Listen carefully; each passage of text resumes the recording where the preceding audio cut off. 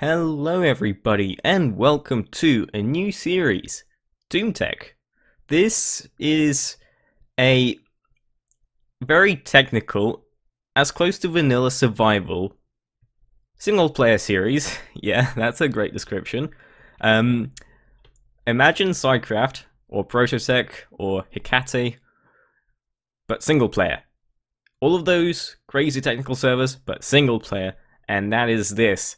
Now, it's not gonna be completely um it's not gonna be completely vanilla and that's for several reasons. One optimization. Uh, i am running fabric and with fabric i am running the fabric api i. Am running carpet mod which i will explain in a second.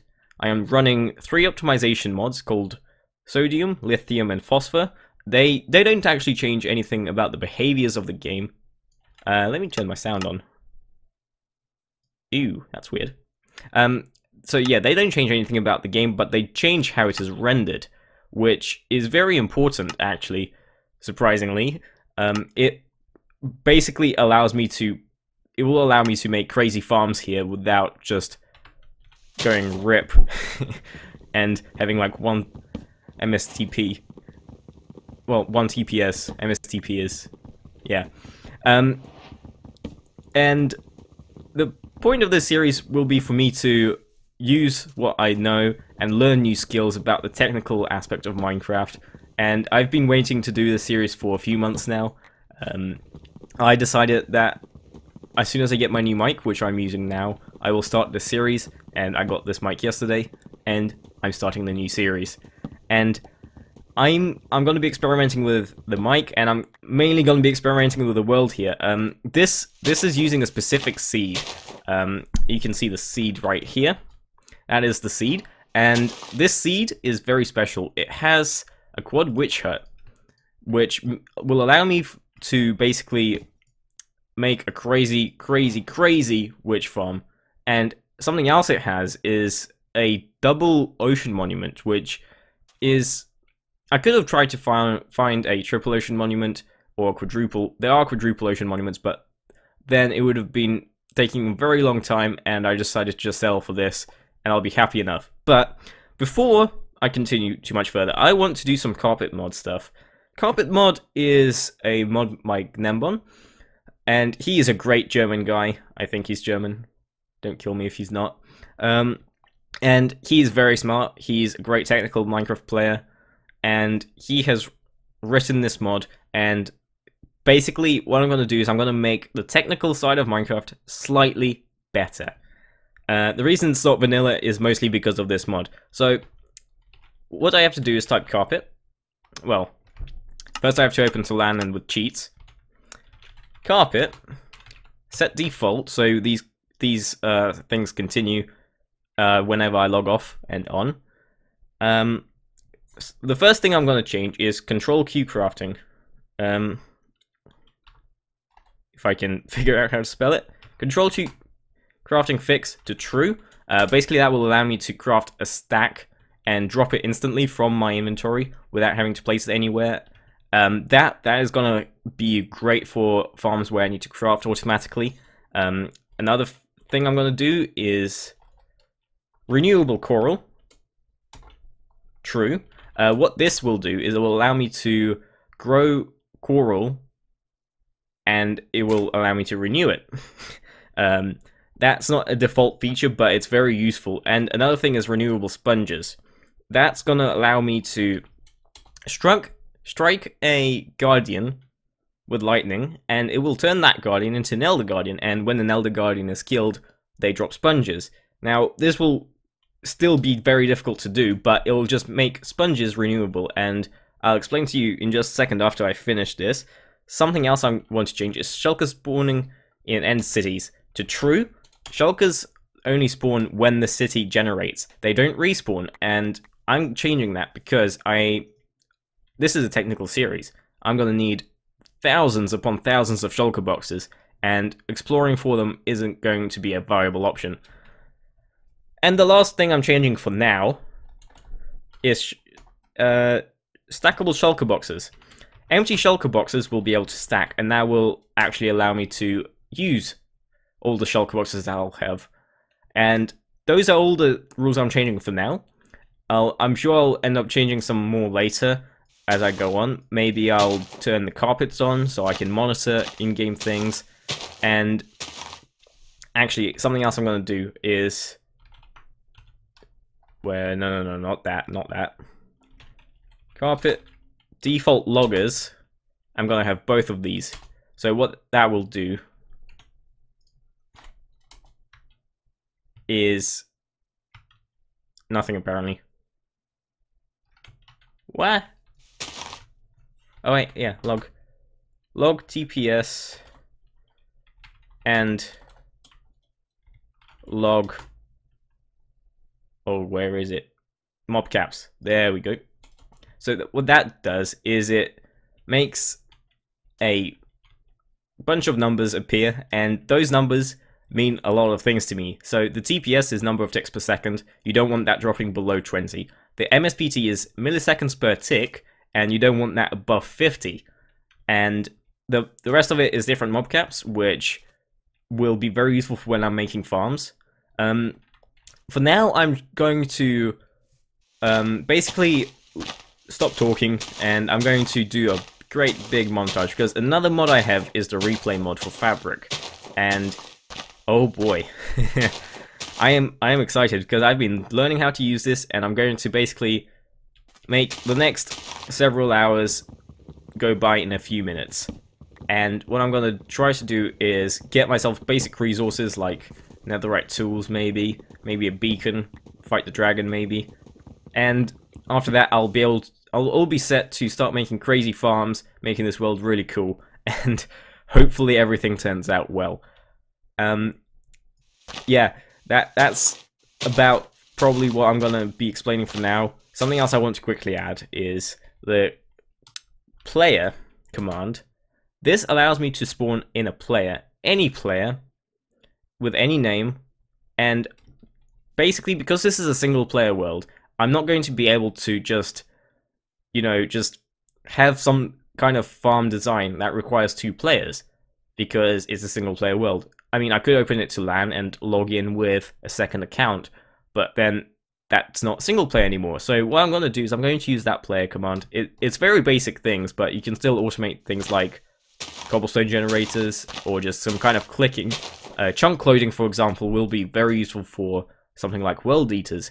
Um, fun fact, I've never built a flying machine in my life, so that's something I'm going to learn because I'm going to be using those all the time.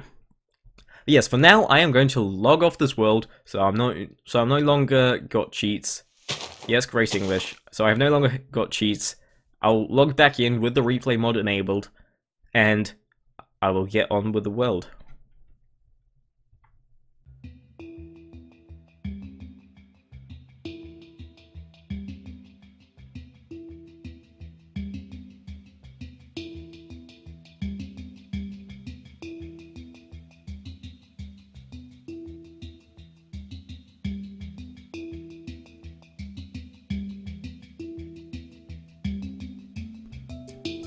Whilst I'm here, I thought I'd also tell you that this world is actually being played on hard mode, and that is because certain things in the game can only happen in hard mode, and it will also just help in the very technical side of it that requires the higher chances of it, certain behaviors being in hard mode. For example, zombies breaking down doors. That I can see that being used as something in the technical play, and turning villages into zombie villages will be 100% chance on hard, whereas on normal, it, there's a low percent of it actually happening. Um, something else that I have that I forgot to mention is Shulkerbox Tooltip, so that will allow me to just hover over Shulkerbox and see what's inside, and I think that's just very useful because it's not very useful otherwise. Um, the goal, the main goal this series will be to pretty much make the fastest farms for everything that there is, and to collect a double chest full of shulker boxes of every item. So that'll be easier for non-stackable items and items that don't stack to 64, but for something like beacons, that would take a very long time, and that is why we build the crazy farms. It will be to actually make these things possible, and that is why I'm going to be trying to make the craziest farms, the fastest farms possible, and I've already got some pretty good designs, and I'll have to play around, because, for example, on, on a proper server with dedicated hardware, a farm could run without lagging the server, but on a single player world without the dedicated hardware, the farm might lag and you won't get the full efficiency of it. Something else about this, because the lighting engine is being done differently with one of the mods, I'm gonna have to turn that mod off for something like lighting suppression for when I'm trying to make crazy fast mob farms. And that will probably be done much much later, but who knows. I'll have to mess around with the mods sometimes, just to make certain farms possible. Something else I'll be doing is probably live streaming a lot of this, and just taking the highlights out and putting them in for certain farms. I'll, when I'm explaining the actual farm, I'll probably do it in an actual recording like this, but when I'm just building it and like I want to show something that happened, I'll probably use combination of the replay mod and the farm itself.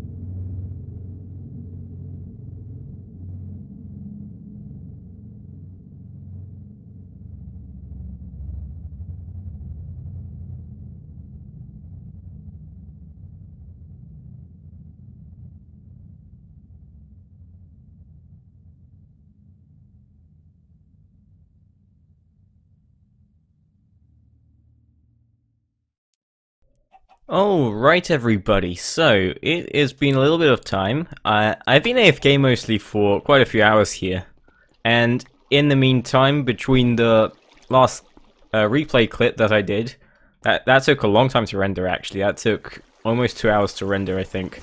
Um, I don't blame it, there was a lot to render and a lot to process, but yeah, um, I've upgraded my little cactus farm here. This this cactus farm, it's actually it's actually here to make XP. So what happens is the cactus automatically goes into the furnace.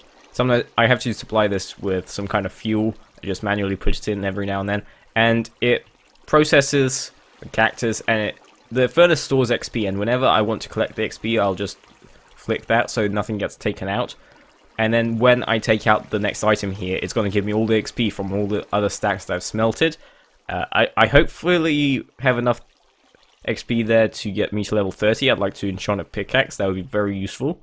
Um, over here, I have a melon farm. What this does currently is just takes it to composter and gives me some bone meal. I also just throw in some other stuff here, like the sugarcane. I just throw it in here as well, just to get some passive bone meal. This is a very passive XP farm. I current, I really need to set up something better uh, because this won't last me for long. Um, okay, so let's see how much XP we get. Okay, we got to level 28. That's fine. That's fine, I suppose. Um, I'll I'll just wait until it's nighttime then, which will be a little bit of time still. Uh, and then when it's nighttime, I'll just go kill some mobs and hopefully not die. And then I've got a full enchantment table set up over there. That's level 30. And I'll enchant my pick here. Over here, I have a little chicken farm. That's just for eggs, which I have plenty of already, apparently. I, I did say I was AFK for quite a while. Uh, okay, boy. That's a lot of eggs. Um, okay, I'll be using these eggs to make a chicken cooker thing because I need some kind of stable food source right now, and all I have is this steak here that I got near the start of the world. Um, like when I was just going exploring and killing all the cows. Uh, got some wheat here. This is just to uh, get some, well, wheat. Um, I'll be using that to breed cows later. S something to note is all of this area around spawn will be absolutely destroyed down to bedrock. There will be a massive perimeter here. Uh, hopefully a void perimeter if I'm able to break bedrock efficiently in some way. Um, that's just to get rid of any spawn chunk stuff so it doesn't affect anything else. Uh, where should I put these eggs? Uh, for the moment I'll just put them down here. Um, because there's quite a few. I'll put the wheat there, and all of that there. I just got an ominous banner, had one of the pillagers kill the leader guy. And yeah, that's the world so far. Um, uh, I was really kind of hoping to like have fought the dragon by now, but I, I would rather just set up some tools first, get good armor. I have full diamond armor already, but I'm not using it because I don't want it to take durability damage. Uh, where is it? It's there. And I've got four netherite ingots. I did some strip mining and a bit of bed action. And that got me enough, surprisingly. Quite surprisingly, actually. Um, in the replay that you saw, I the nether was quite bland. Uh, I didn't show me or the portal. That's because I couldn't find it. I could have, I should have just like searched for the player um, using the actual replay commands and stuff. Just straight up gone to the player. But something tells me that there was an issue with the loading of the chunks there. Like as if the nether like hadn't generated the stuff yet, even though the terrain was actually generated. I need to refuel this actually. Um, but yeah, that's the world so far. I'm just gonna try get enough XP to get a level 13 enchant done, and I'll maybe start digging out some chunks somewhere around here near the spawn uh, for a slime farm, because a slime farm would be extremely useful right now to make all the all the um, flying machines and crazy stuff that I would actually need. Uh, one of the first things I'll do with it is just bomb down this spawn area, maybe. I maybe not instantly, but I'll I'll be tearing all of this down and locating like I'm not gonna have a central base or anything. It's just gonna be kind of all over the place, you know. Um, kind of like how a technical survival series should be, I suppose. Although more like a server than single player. Um, yeah, that's that's it for now. Uh, maybe I'll do a lot of stuff on stream and I'll just show you the highlights of it, or maybe I'll show you the end progress. Who knows? Breaking through efficiency 4. Perfect, that's exactly what I need. Um, ooh, should I... I'll just use this pick. I'll save this pick for an emergency, I guess. oh, guys. I was just working on the slime farm over there, and there was lava pouring down this hill, so I didn't really go down here to check anything out, but look at this. We've got a skeleton spawn of all things here. Alright, yeah, so this will make a pretty good XP farm, actually, and it will make a good bone meal farm. We're going to need a lot of bones for bone meal to make uh, crop farms and all that kind of stuff, so I guess something I'll do quickly then is just make a quick little skeleton grinder and then I might end this episode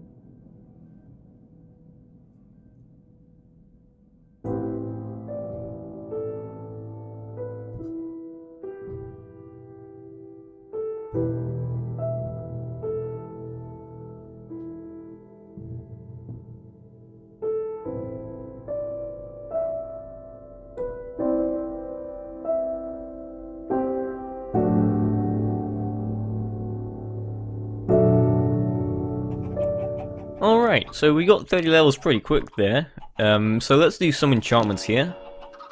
Okay, that's not too bad. That's not too bad. Now I want to check out some of this armor. Protection 4 is what I'm looking for.